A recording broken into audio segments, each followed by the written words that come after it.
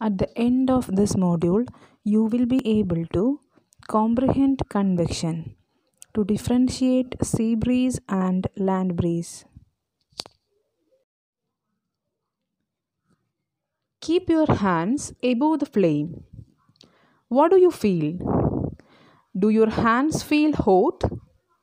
Why? Is that towards the top the air gets heated by convection. Therefore, the hands above the flame feels hot. Now, what is convection? Convection is the process of heat transfer by the bulk movement of molecules within the fluids such as gases and liquids.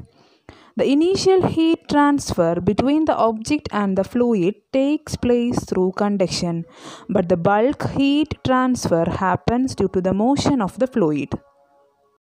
Convection is the process of heat transfer in fluids by the actual motion of matter. It happens in liquids and gases. It may be natural or forced.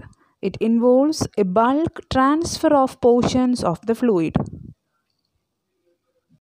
When water is heated, the water near the flame gets hot. Hot water rises up. The cold water from the sides moves down towards the source of heat. This water also gets hot and rises and water from the sides moves down. This process continues till the whole water gets heated. This mode of heat transfer is known as convection. How does the heat travel in air? In which direction does the smoke go? The air near the heat source gets hot and rises. The air from the sides comes in to take its place. In this way, the air gets heated.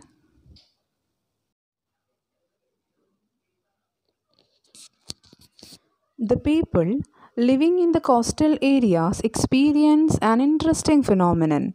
During the day, the land gets heated faster than the water. The air over the land becomes hotter and rises up.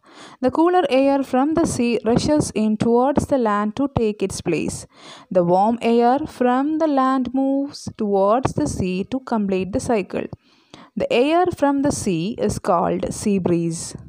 To receive the cooler sea breeze, the windows of the houses in coastal areas are made to face the sea. At night, it is exactly the reverse. The water cools down more slowly than the land. So, the cooler air from the land moves towards the sea. This is called land breeze.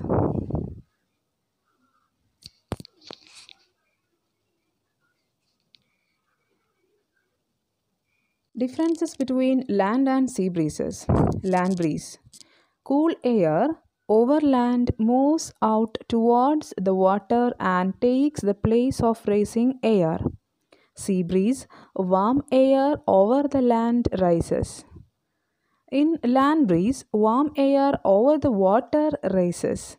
But in sea breeze, cool air over the water move towards the land and take the place over the warmer air that has risen. In this module, you have learned that the heat transfer taking place in fluids is called convection. The movement of air from the sea to the land is called sea breeze, and the movement of air from the land to the sea is called land breeze.